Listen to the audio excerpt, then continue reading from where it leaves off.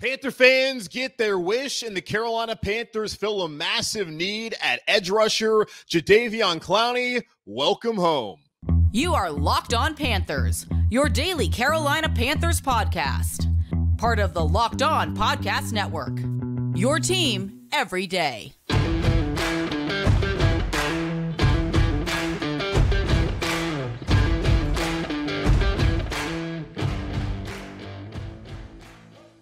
Welcome into another edition of the Locked On Panthers podcast, a part of the Locked On Podcast Network.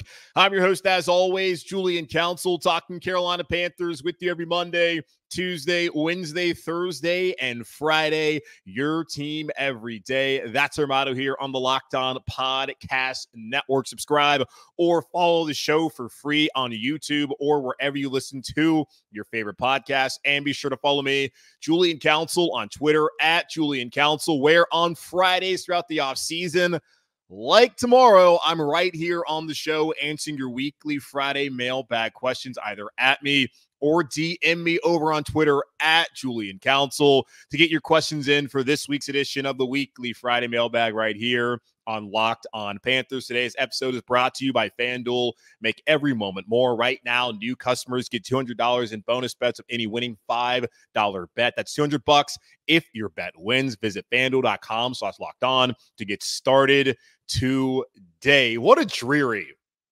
couple of days we've had here in the lovely Queen City of Charlotte, North Carolina, and how nice it was to be driving around in this awful rainstorm and to finally get some good news pertaining to the Carolina Panthers. Now, the Panthers have had plenty of good news this offseason, bringing in Robert Hunt, Damien Lewis, DJ Wonnum. That's a positive signing. There have been plenty of positives since the new league year started two weeks ago, but there has not been a signing I think that Panther fans really thirsted over quite as much as the one we're going to talk about today. And I'm not saying that's a bad thing rightfully so, Panther fans should want this player on their team. They should want someone who's a native son of the Charlotte area to be here in Carolina. And you should want to have something to have hope about that this organization can turn things around under Dave Canales as their head coach, uh, under Brandt Tilis as the EVP of football operations, and of course, Dan Morgan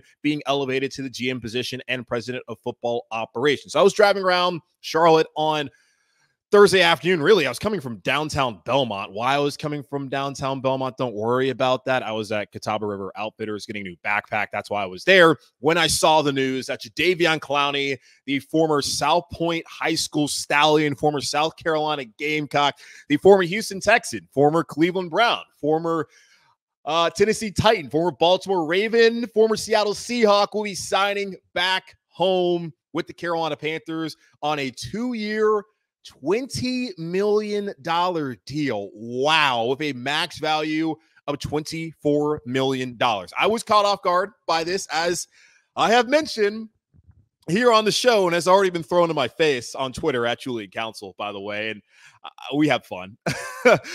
Clowney has signed a deal in March for the first time in his career. We'll go over that here momentarily.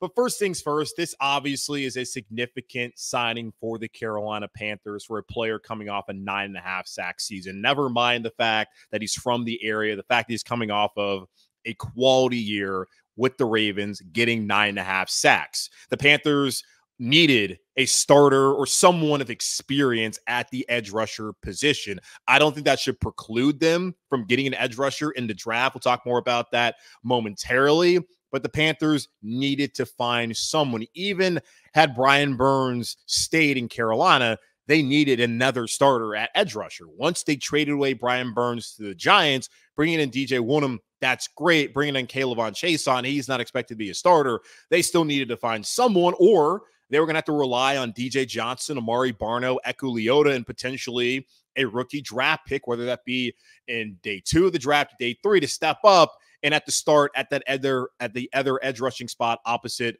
of DJ Wonnum. So that is why this is significant. And they beat out the Jets and the Ravens for Clowney, two teams that aspire to be Super Bowl contenders in 2024. It's the New York Jets. Don't ever believe that they're contenders, whether Aaron Rodgers' Achilles is intact or not.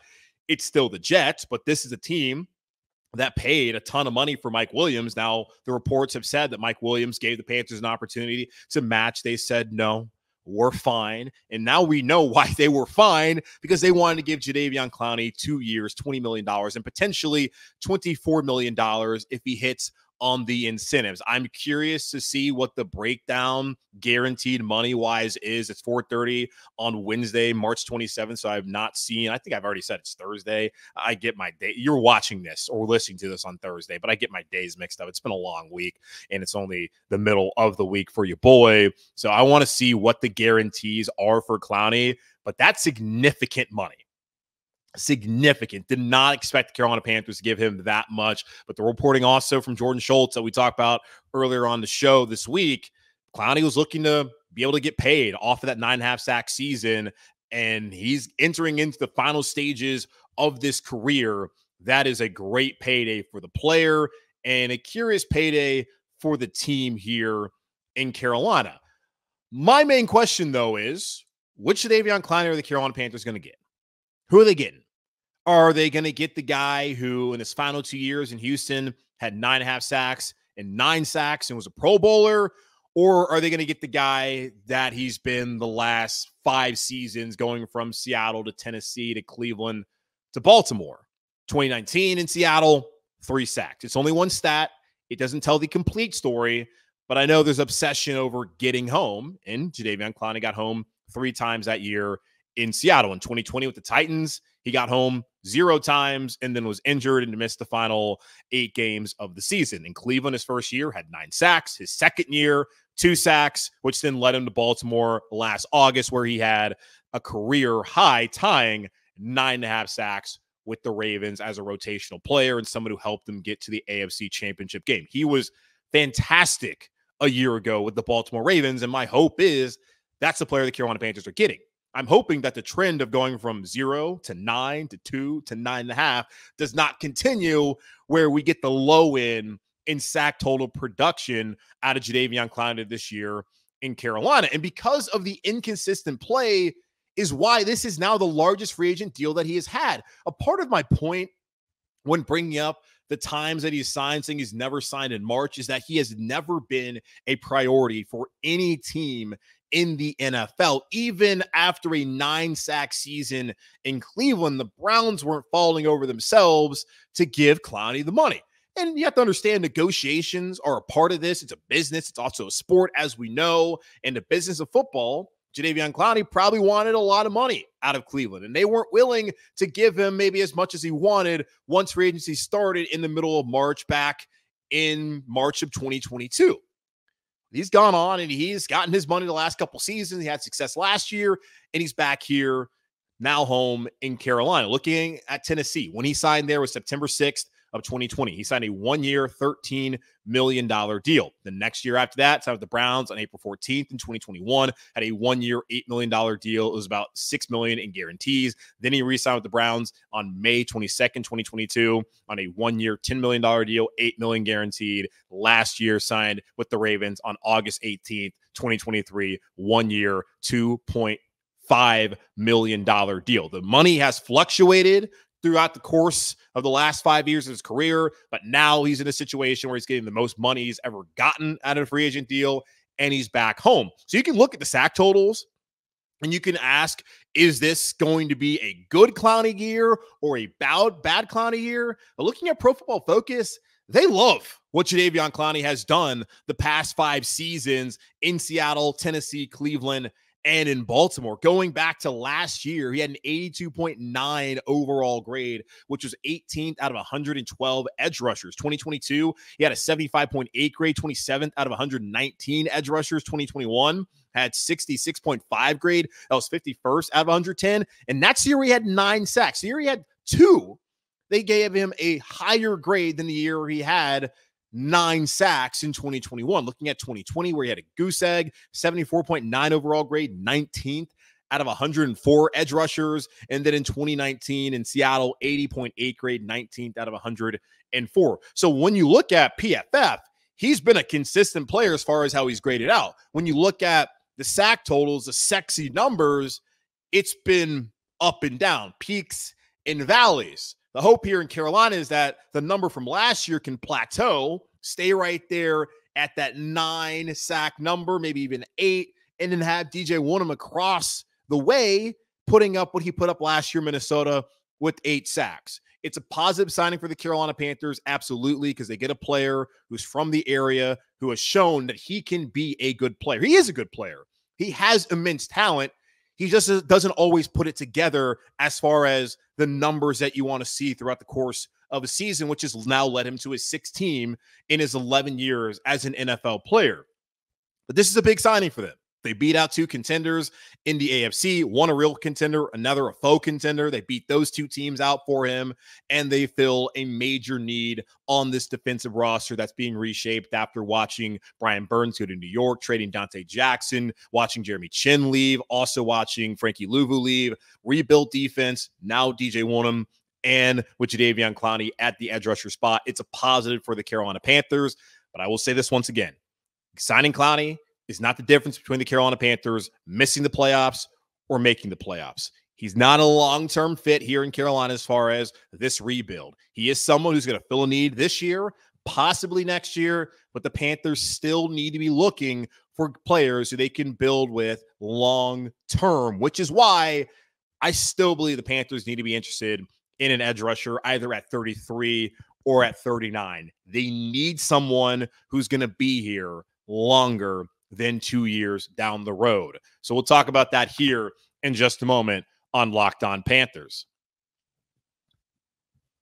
You shouldn't have to worry when you're buying tickets to your next big event. Game Time is the fast and easy way to buy tickets for all the sports, music, comedy, and theater events near you. With killer last minute deals, all in prices, views from your seat, and their best price guarantee. Game Time takes the guesswork out of buying tickets. Game Time is the only ticketing app that gives you complete peace of mind with your purchase. See the view from your seat before you buy so you know exactly what to expect when you arrive. All in prices show your total up front so you know you're getting a great deal without hidden fees. Buy tickets and seconds with two taps. Take the guesswork out of buying tickets with Game Time. Download the Game Time app, create an account, and use code Locked On for twenty dollars off your first purchase. Terms apply. Again, create an account and redeem code Locked On. That's L O C K E D O N for twenty dollars off. Download Game Time today. Last minute tickets, lowest price guaranteed.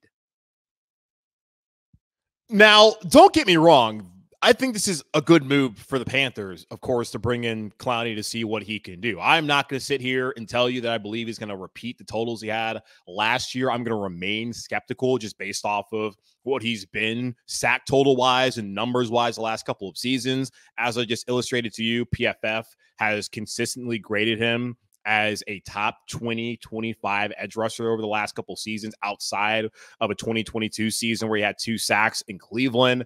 I'm just curious of what player they're going to get. Now, when looking at the edge rusher spot here in Carolina, I'm more interested in the signings of players like DJ Wonnum, who has shown time so far in his career last year in Minnesota, a couple years back, where he had eight sacks, that this potentially could be a solid starting edge rusher for the Panthers to have for the next four or five years or so. For Clowney, maybe he's able to have a late stage career renaissance and stick around here for the next three, four seasons.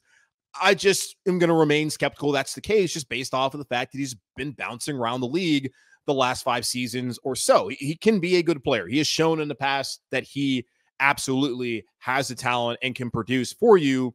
Just the consistency has not been there, which is why he has not signed a contract in the month of March until now. Now, is it a big deal that he hasn't done it? There's probably been times where he's just waited because he didn't want to go through certain workout periods, which I believe was probably the case in 2020 with the Titans. And it was also pandemics. So understand how that factored in last year. His market wasn't great and he wanted to wait until he could catch on with a contender. And he did that in Baltimore. But now he wanted to get the money. And with the Jets clearly trying to sign him, the Ravens didn't seem to be as aggressive as New York or Carolina were he had more of a market than he's probably had throughout the last couple of seasons in the off season. And this is not me trying to defend my, I'm just pointing out like that's just kind of how things work out in the NFL. We see all the major deals that are signed typically happen right at the beginning of free agency. Then after that, it can be a lot of veterans like an Odell Beckham Jr., who's really been like this last couple seasons. Guys like Jadeveon Clowney, who are names of who have produced in the past,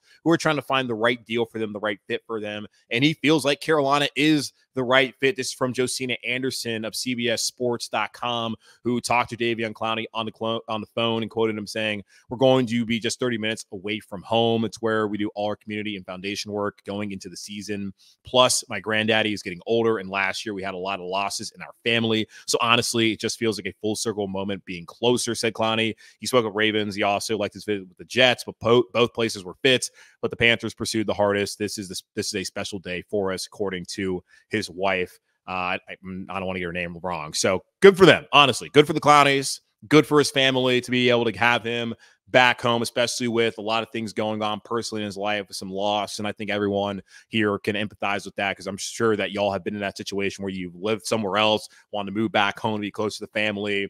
I can certainly sit here and appreciate that. And I'm happy for him. Truly am.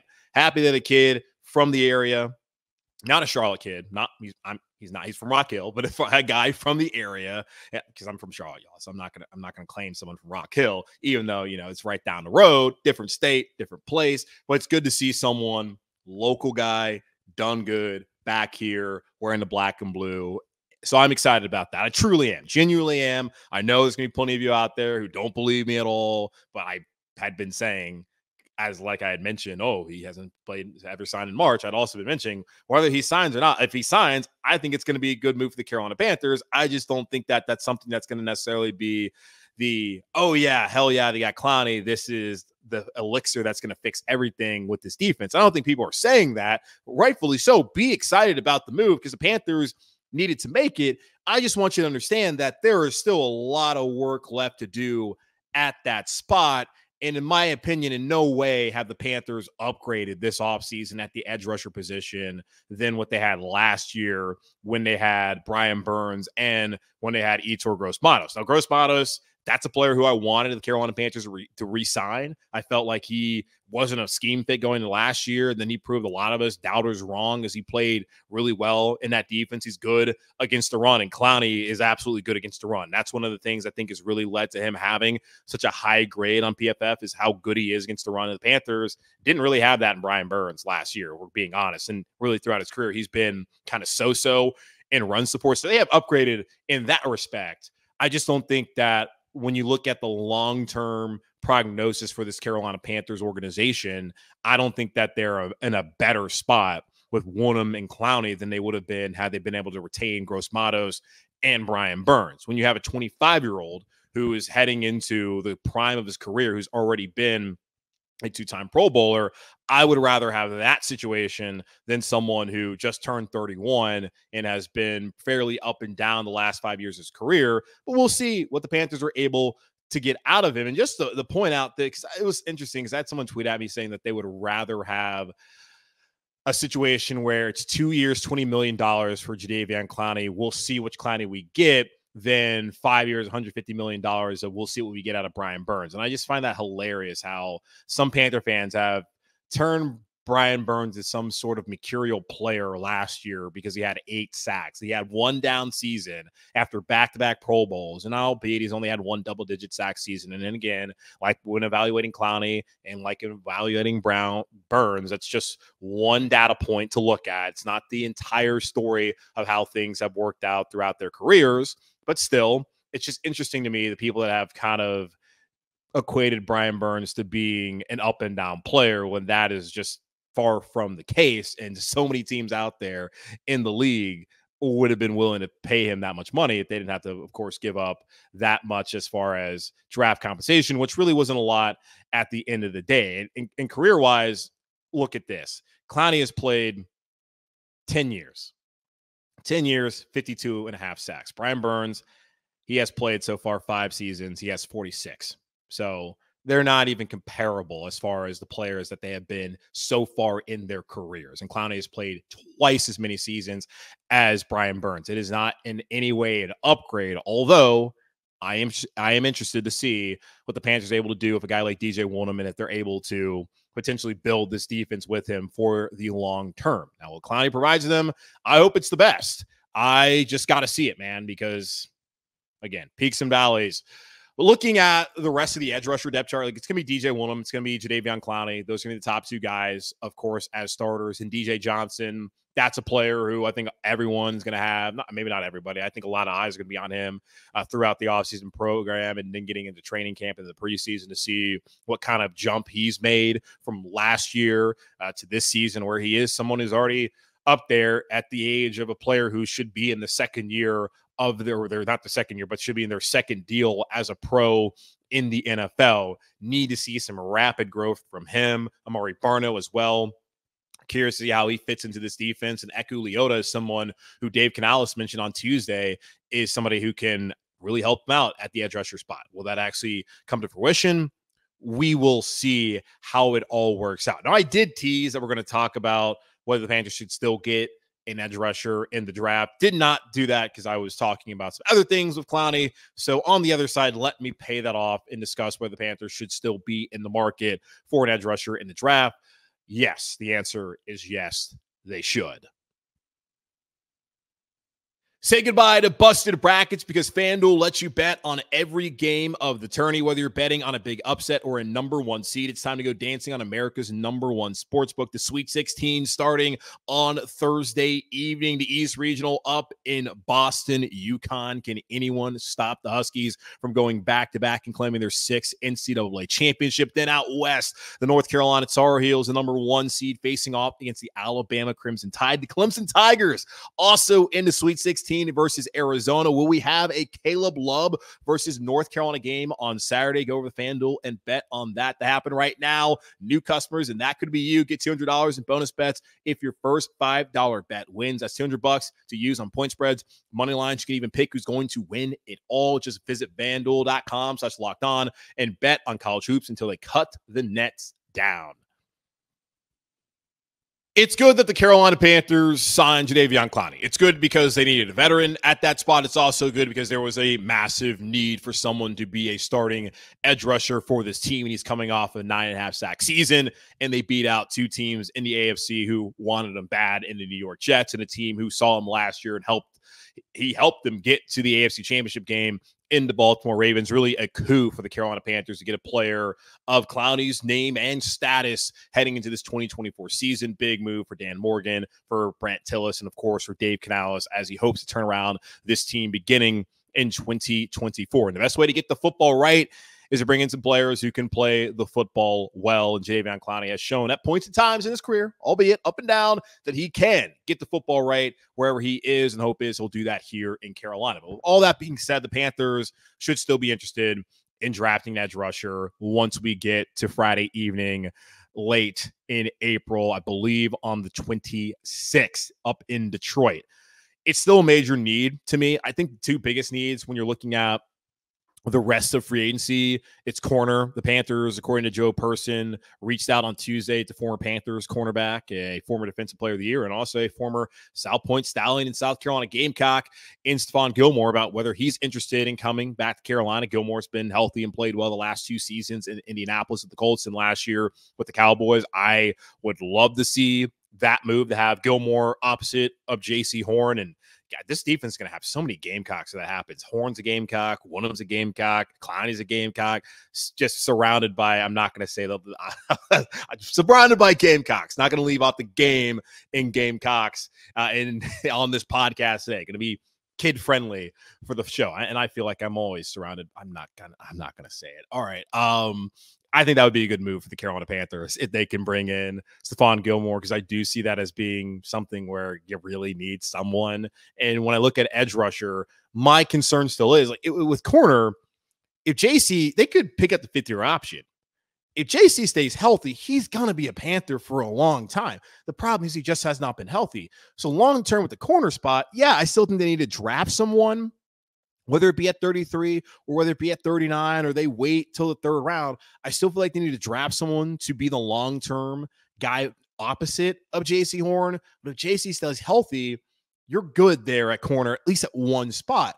Edge rusher, there's still some long term questions. DJ Wonnum, two year deal, really could only be one year deal depending on how he plays this season. Have not seen the guaranteed terms for Jadeveon Clowney. Even looking at it, I still feel like it's probably more of a one year deal with a lot of money on the front end. He can hit the incentives and possibly he sticks around for two seasons. And I would hope that would be the case that he can stay around here for two seasons in Carolina because that would mean he played well in 2024 and that warranted him to stick around for another season in 2025. Of course, would love to see that happen. I just, I'm not as comfortable. Not saying I'm comfortable really at all with the corner spot. I'm not as comfortable just with edge because I don't know whether DJ Wonnum truly is someone who is going to be a foundational piece on this defense at the edge rusher spot. I still don't know long term who's going to be at that other spot because it's not going to be Clowney, was not going to be anyone that they were going to sign to be the other edge rusher opposite of DJ Wonnum. So because of that, I feel like this team still needs to be in the market come draft night for an edge rusher, whether it's at 33 or 39. I think they need to be looking early to try and get someone. If it's Darius Robinson from Mizzou, outstanding. He may be gone before then, but if he's available, hard to pass up at 33. Chop Robinson, Adisa Isaac, both from Penn State. I know there's varying opinions on both of those players. I've seen someone come out and say that one of the guys that they believe is overrated is Chop Robinson. Maybe it is. You like saying Chop Robinson. It's a nice name to say. I don't know if Adisa Isaac rolls off the tongue quite like Chop Robinson and have a player named Chop playing football. It kind of adds up, right? Like Dick Butkus. That just sounds like a football player. Chop Robinson. It it also may sound like other things, but it sounds like a football player. He is a football player, and he's a pretty good one. At least he's been a good one at the college level. Will he be a good one at the NFL level? To be determined. There's also Chris Braswell out of Alabama. And you know what the Crimson Tide have done under Nick Saban, they've just put out a bunch of great defensive players into the NFL. I think that one of those four would make a lot of sense for the Carolina Panthers early on in the second round. I think it also would make a lot of sense that they would draft someone like Ladd McConkey or Keon Coleman if they're available, Troy Franklin at 33 or 39. Same thing with corner. And who knows, maybe because they've brought in Diontae Johnson to go with Adam Thielen, they just took Mingo, who Dan Morgan is still speaking highly of and believes he's going to develop into someone who can really help Bryce Young down the road. Maybe because they brought them in and they've signed two edge rushers in Wonnum and Clowney to two year deals where they could both be here the next two years, Gamecock and Gamecock at the edge rusher spot. It could be possible that corner is a top need and then center is a top need. Do the Panthers go draft their long term starting center early on in the second round, opposed to getting an edge rusher or getting a wide receiver, two positions that we have talked a lot about since free agency began and even before then, trying to figure out what this team would do. It's nice with the Burns trade. As much as I hated them actually doing it because the player is a good player and they're going to have a hard time finding someone to replace him. And neither of the guys they brought in are going to be replacements for Brian Burns, like a suitable long term replacement. It's not going to happen. They're not going to play at the level. It's just, it's just not going to happen. If I'm wrong about that, fine. I'll be wrong about thinking that Clowney and Wonnum won't be guys who can be long term replacements for Brian Burns. I- am happily fine being wrong about that if that does become the case. And y'all can throw it in my face and I'll eat it up and we'll do it. Like, I love y'all. Hope you love me. You know, it's, it's our back and forth, our relationship. Sometimes I say things upset you. Sometimes I say things that make you happy. It's what it is, man. But I appreciate all of you tuning in and allowing me to say these things, whether you appreciate them or you don't. I just appreciate your support. And the support is listening and watching, whether it's hate watching or hate listening, doesn't matter. If it's love, it's love. I feel love to you no matter what. But back to it, it's opened up the possibilities. And that's the great thing about free agency, really, for a team. And Dan Morgan reiterated this on Monday morning down at the Carlton in Orlando for the NFL owners meetings. This is a team that wants to build through the draft. This is a team that does not want to use free agency in order to build their team. The teams that spend the most money in free agency are typically the teams that lose. The Panthers have spent a decent amount of money, but they spend it smart, wisely on Robert Hunt and on Damien Lewis at positions that made sense. They didn't spend a lot of capital to bring in Diontae Johnson. Now they're spending a lot for Jadeveon Clowney. Certainly, they're spending a lot, and it's raising an eyebrow or two for your boy over here on the show and seeing that deal originally. Need to see what their full breakdown is, guarantees why wise, but that that did surprise me. They want to build through the draft. And the best way for this team to really secure and find a franchise type of player at the edge rusher spot is Friday night April 26th, up in Detroit. That's when they should do it. I still think they should be interested in doing that. They could even go out and get a tight end if that's what they want to do. But getting Clowney, getting Wonnum, that should not preclude this team from still being aggressive. What a great scenario it could be if they have DJ Wonnum, have Jadeveon Clowney, and then they have a second rounder who, unlike DJ Johnson, actually played the position for four years, three years, however many years in college, and played it at an all conference level, who can step in and right away be a rotational player and actually help them on the field. That would be an ideal situation for the Carolina Panthers. Jadeveon Clowney, welcome back home. He is a Panther. Congratulations, Panther fans. Something for y'all to be excited about, to be happy about. Absolutely do that. We'll just have to wait and see which Clowney they're going to get come this fall. That's going to wrap up this edition of the Locked On Panthers podcast, part of the Locked On Podcast Network, hosted by yours truly, Julian Council. Again, y'all subscribe and follow the show for free on YouTube or wherever you listen to your favorite podcast. And be sure to follow me Julian Council on Twitter at Julian Council, where on Fridays throughout the off season, meaning tomorrow, I'll be right here answering your weekly Friday mailbag questions. So either at me or DM me to get those questions into me as soon as you listen to this show. But in the meantime, be safe, be happy, be whole as always and forever. Keep pounding, and I'll talk to y'all on Friday.